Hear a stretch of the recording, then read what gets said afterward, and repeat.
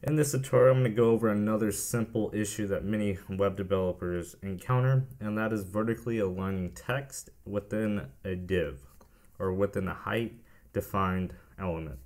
And the issue is, is that when you manually input text within the element, the text actually lines up at the very top of the element.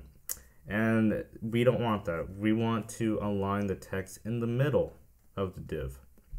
So I'm going to go over the basic structure. Um, again, the index.php is what I'm using. I'm using XAMPP. You can use WAMP if you prefer.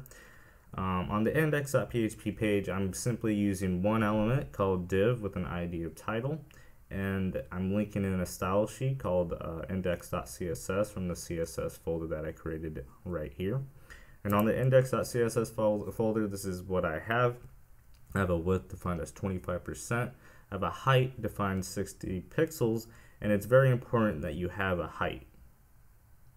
If you don't have a height, I'll go through other tutorials on how to vertically align text or elements within another element. Um, right now, I positioned it in the middle with the margin of 30 pixels on the top. I changed the font so you guys could see it better. Uh, text align center is so that I could align the text in the center horizontally and then I gave some background styling as well as a border radius and box shadow and changed the font to Helvetica.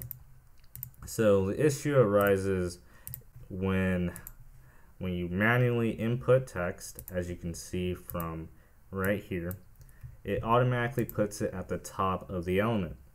So a very simple fix, literally one line of code within the CSS file, is to add a line height and we want to add a line height that matches directly to the height property. So we want to add a 60 pixel line height. So if you have a height defined uh, element that's 80 pixels um, tall, you set a line height to 80 pixels. And that would allow you to center the text within the vertically vertically align the text in the middle of the element. So that's a very quick, simple fix. Uh, that was an issue that arose early when I was learning how to develop websites, and hopefully this will help you. Um, if you enjoyed this video, leave a like. Um, if it helped you in any way, leave a like. If you have any suggestions or criticisms of my videos, please uh, comment down below. I hope to see you in the future, and if you want any of these files, they'll be on my GitHub account. The link will be in the description.